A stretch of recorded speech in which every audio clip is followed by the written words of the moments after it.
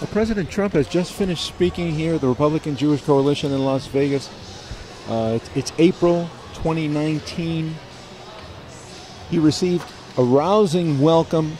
How come? Well, the speech was just great.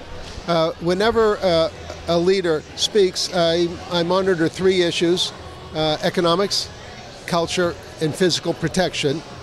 In reverse order, it's life, liberty, and the pursuit of happiness. So I, I measure them in my mind. I pretend I'm a professor and I give them grades. Uh, and he did awfully well. What were the points that resonated most with the audience in your view? Well, the, the audience uh, is most interested in Israel. So uh, uh, about a, a, third of the speech was devoted to Israel and uh, moving the embassy and the, uh, the recent move recognizing the Golan Heights. Uh, so that's what resonated most with the audience as Jews. But as Americans, uh, he spent a third of his time talking about a strong economy and a third of his time a strong national defense. So uh, between the Jewish themes and the American themes, it was a very successful speech.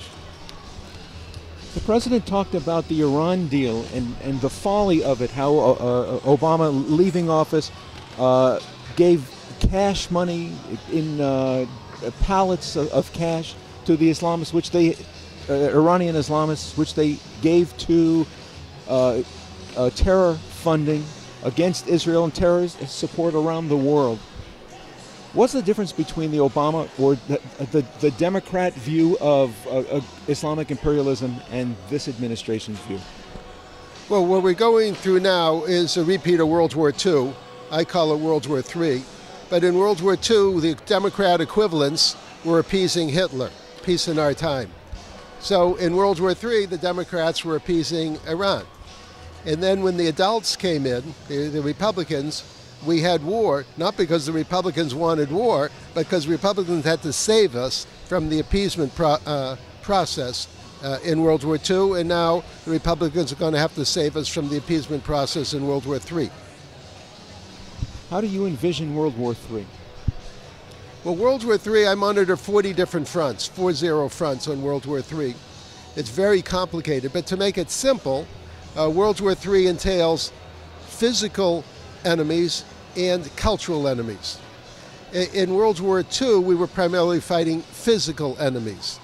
In World War III, uh, half of what we're doing is fighting physically, and half is what we're doing is fighting culturally. It's the cultural war which we don't know how to fight. We know how to fight physical wars, we don't know how to fight cultural wars. We, we better learn. How do you expect that this administration and the campaign to uh, re elect him how can they over possibly overcome all the media bias? And I, I don't mean just the late night uh, uh, hosts or the, the, the morning uh, jovial hosts, but the press who have abdicated their responsibility uh, to objectivity and impartiality in reporting on this president. How, how can, what do you think uh, could be done to, to overcome all these forces against him? Well, uh, three quick things come to my mind.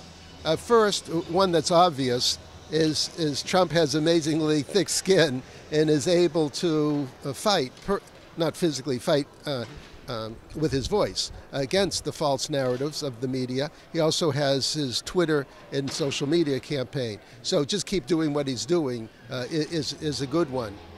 Uh, another thing that he can do is um, uh, sharpen his attacks against the bad guys.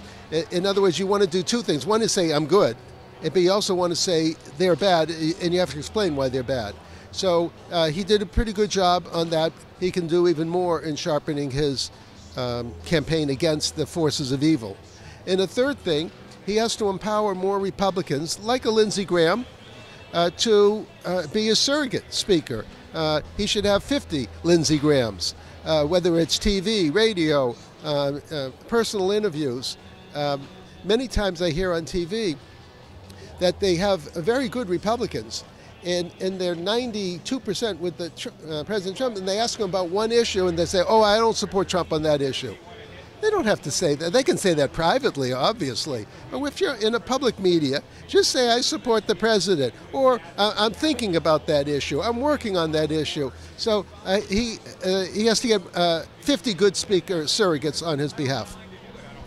The president talked much about Israel here, but isn't, isn't Israel a Middle East surrogate for the United States? In the Middle East, it, uh, when the attacks, the, uh, the, the Arab world turns against Israel, is it a surrogate uh, for attacking America? Yes, uh, surrogate's a good word. Uh, I use a similar word, uh, Siamese twin. Uh, Jews and Christian, I, I call Siamese twins. We share the same body. We have two heads, but we're 90% the same. We disagree on 10% of the issues. Doesn't matter. We're Siamese twins. Anything bad that happens to Jews is bad for Christians. Anything bad that happens to Christians is bad for Jews. We don't know that. In other words, Jews don't know it and the Christians don't know it because the Christians say, I'm, I'm worried about Christians, and Jews say, I worry about Jews. My response is, no, we have to worry about the Siamese twin.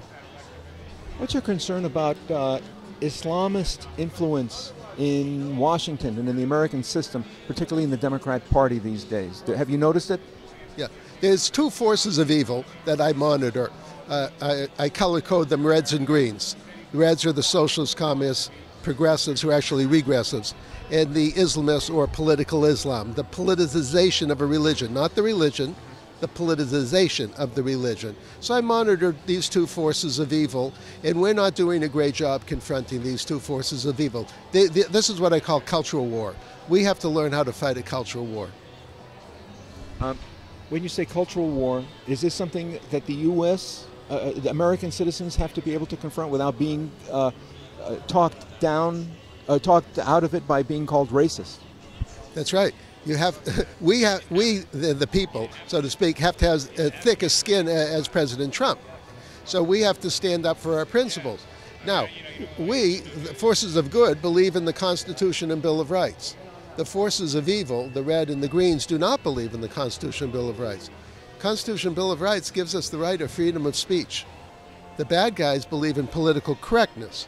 So we have to stand our ground on, on freedom of speech and condemn political correctness, correctness as infringement of our God given rights.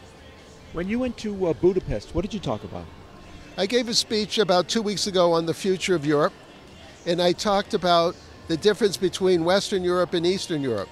Eastern Europe, having been under the control of the Soviet Union, has, has no patience for dictatorships, uh, whether they're red dictatorships or green dictatorships. Uh-huh. So I'm not worried about the future of Eastern Europe. The future of Western Europe is very questionable.